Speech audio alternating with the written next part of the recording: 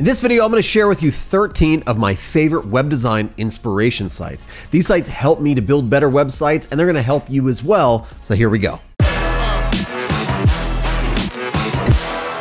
Before we dive into my favorite inspiration sites, let me talk about the sites that I don't like to visit for inspiration. They all live in one category, and that's anything that is awards based. I'm talking about sites like A Triple W ARDS or AWA Awards, however you say it. I'm not a fan of this site or sites like it, like CSSDesignAwards.com. The reason that I don't like sites like this is because their purpose is not necessarily to inspire you to create good work for your clients or for your companies. They're actually there just to stroke the ego of other designers, and for that reason, I'm out. Now, before you dive into web design specific inspirations, there are a couple places I like to go for just general design inspiration as a whole. And some of those are savee.it. We can find just really cool things that have to do with architecture, furniture design, 3D design, logo design. I think it's healthy to look outside of the medium in which you're designing, and Save It is actually a really great resource. Next up, we talk about fontsinuse.com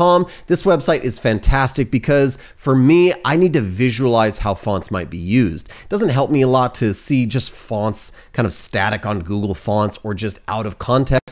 This gives me an idea of how they might be used, you know, in really cool and interesting ways. I can spend hours just scanning this site and checking out the different implementations of how typography can be playful, fun, interesting, and outside of the box from how I normally use it. Let's dive into the website specific inspiration sites. First on my list is framer.com slash gallery. Now, the reason that I love Framer's gallery of sites that are submitted is because they're all built in Framer. And as somebody who has moved my entire client work and agency work over to Framer, this is a big deal for me because I can shop all of these different designs and see what's actually possible inside of Framer. If I click on a design, I see who built it, a little bit about it, and then I can actually click and see the live website in action. As I scroll down, this lets me know, oh, this is possible in Framer. Maybe these are some things that I should try. And that's helpful if you're looking at a tool specific inspiration site. Next up is a new one for me, and that is Site of Sites. This was recommended to me by somebody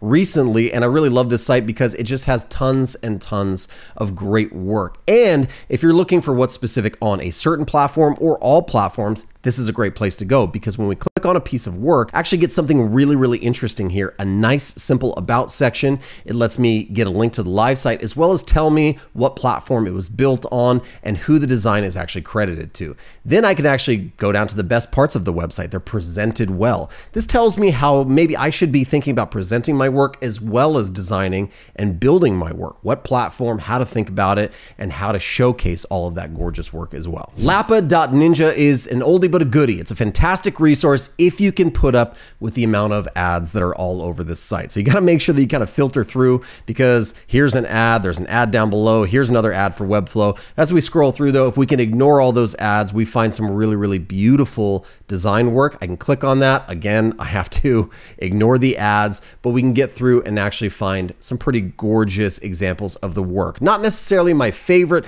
but definitely a dependable resource to go to. Next up is minimal.com gallery. It's exactly what you want from a website inspiration site. It is minimal by its nature. It allows you to search through lots of great different filtering options. If I want to look for one page agency e-commerce, I can drill down on just that work. And there's no frills here. It's a browsing experience because as soon as I click on something, I'm going to go straight to the live site.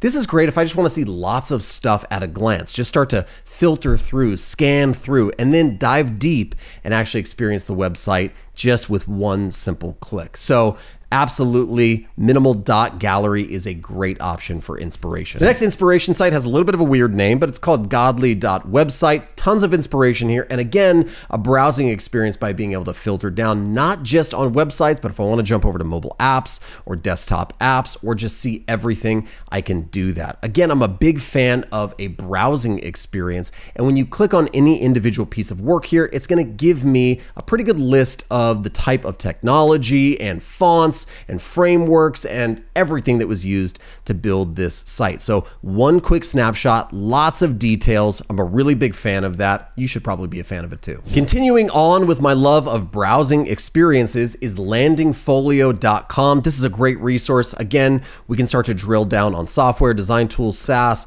We can see all of the different industries over here in the left-hand column, and you can also drill down on things like Figma components or Tailwind components. Clicking over there is going to open up a different gallery with different elements for me to peruse. Again, this is about getting inspired, and I like as much inspiration as I possibly can at one time, and this is a great resource for that. The next inspiration site is all about building portfolios. Killerportfolio.com is just that. You're going to find nothing but portfolio sites. Now, that might be personal portfolio, company portfolio, design portfolio. Hey, what's a development portfolio look like? A good one? We can find some good examples here. So if you're looking for portfolio specific with some of those filtering options, this is a great one because I can jump over to a personal portfolio here, click on that, and again, just get nice clean shots, a little bit like a case study, just to have a little bit of information. It's not too long where I don't want to read it. It's just right. The next resource is a little bit different because it doesn't focus on entire websites, but instead individual sections of websites, which is super helpful. This is unsection.com. So if I'm looking for things like a hero section design or call to action section design, I can actually scroll down and get lots of these CTA sections that might inspire me on the projects that I'm working with. Click on that. We just get a nice simple understanding of what's happening here. And then down here on the right hand side, you actually get a couple of tags. It's light, it's vector, it's minimal, it's for software, and maybe the industry is technology. Maybe that's all I need and just some kind of insights on this section Unsection can help you do that. Next up is a classic, and that is onepagelove.com. Now, quite often they're gonna focus on Webflow sites. That doesn't really matter to me. I'm just looking for great one page layouts. One page websites are super popular for good reason. Sometimes all you need is a good one pager, and this website truly is showing the love for that one page website design style. Click on one of these, and you get some, again, very helpful tags here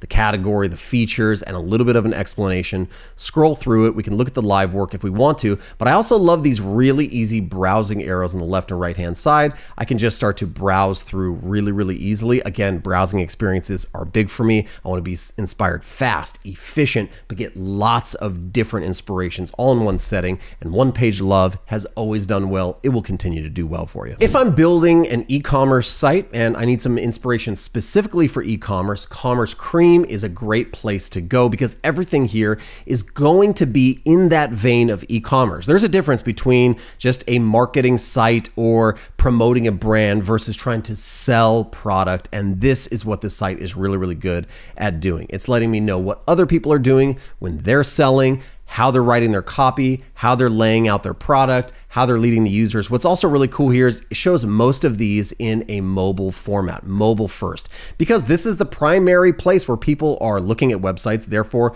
the primary place where people are actually spending money is on mobile websites. So we should think about e-commerce in a mobile first way and this site does a really good job of helping me to think through that process. Last one on the list is very specific but this is brutalistwebsite.com.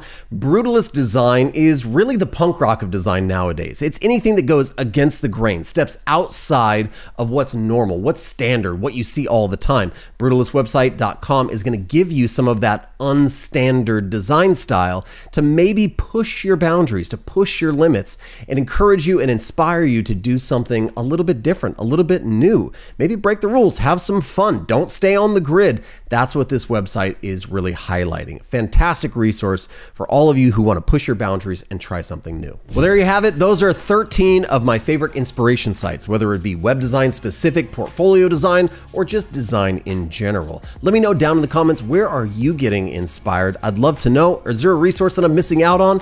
Hit me up in the comments. Also, check the description for links to all of these sites that I've mentioned today, and make sure that you leave a thumbs up on this video and ring that bell so you know when more videos like this one come out. Hope you're having an amazing week. Hope you're designing amazing things, making amazing things. We'll see you in the next one.